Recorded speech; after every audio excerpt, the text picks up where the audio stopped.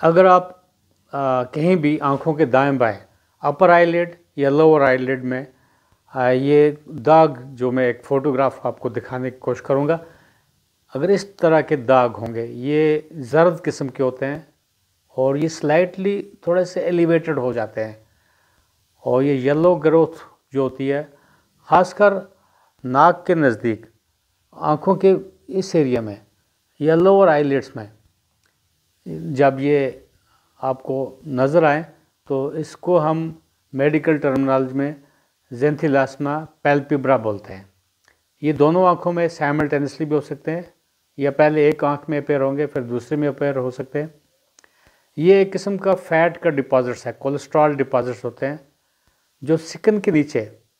और ऑब्वियसली ये हिंट देते हैं, कोई अंडरलाइन कोई डिज़ीज़ तो नहीं चल रही है। कहीं बॉडी में ट्राइग्लिसराइड्स कोलेस्ट्रॉल तो ज़्यादा नहीं हो रहा है। ये जो दाग होते हैं, ये पेनफुल तो नहीं होते हैं, मगर इनमें एक डिसफिगरमेंट डेवलप हो जाती है। और देखने वालों को लगता है कि कहीं ना कहीं इसमें कुछ नॉर्मलिटी आ चुकी है। ये कभी आपके इंडिविजुअल लेवल पे आप अपना आईना देखोगे तो आपको नज़र आएँगे हाँ बिल्कुल कोई कोलेस्ट्रॉल के डिपॉजिट्स यहाँ जम हो रहे हैं। या कोई भी ऑब्ज़र्व करने वाला आपको बोलेगा हाँ वाकई ज़र टाइप के दाग जैसे हैं।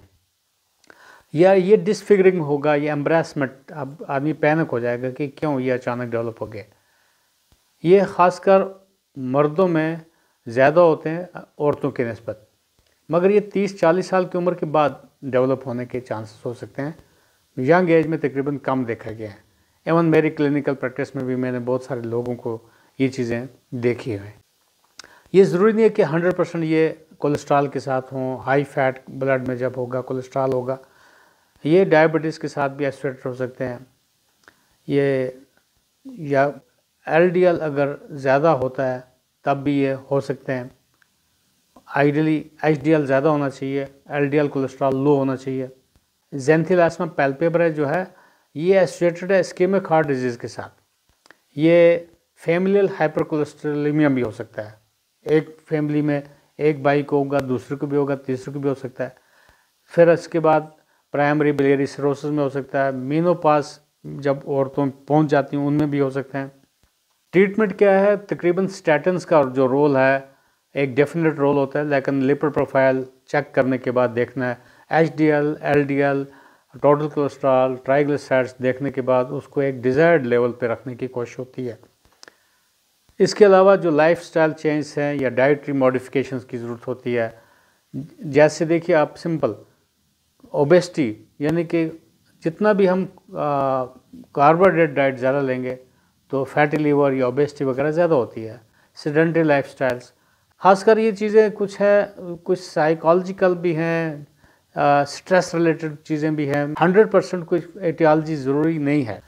तो मैं इसका ट्रीटमेंट ऑप्शंस आपको बताने की कोशिश करूँगा। सिंपल एक्सीजन कोई भी प्लास्टिक सर्जन या सर्जन इसको एक्सरसाइज कर सकते हैं। फिर इसका क्रायोथेरेपी जो होती है, वो है फ्रीजिंग ऑफ़ टिश्यू करना होता है। और लिक्विड नाइट्रोजन यूज़ करते हैं। क्रायोथेरेपी से भी ये ट्रीट हो जाते हैं। केमिकल कॉटराइजेशन जो है, वो खासकर T C A trichloroacetic acid वहाँ अप्लाई करते हैं तो सिकन पील ऑफ़ हो जाता है और रीजनरेट होकर नया सिकन नीचे से आता है। इलेक्ट्रो डिसेक्शन होता है, जिसमें बर्निंग द अनवांटेड टिश्यू हो सकता है, और लेज़र अब्लेशन मेथड्स भी हैं।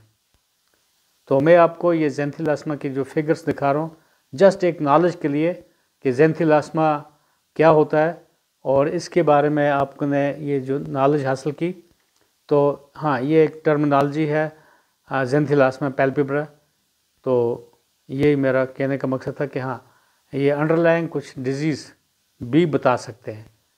सो so, आप इसमें पैनिक होने की ज़रूरत नहीं है इसका इजी ट्रीटमेंट हो सकता है।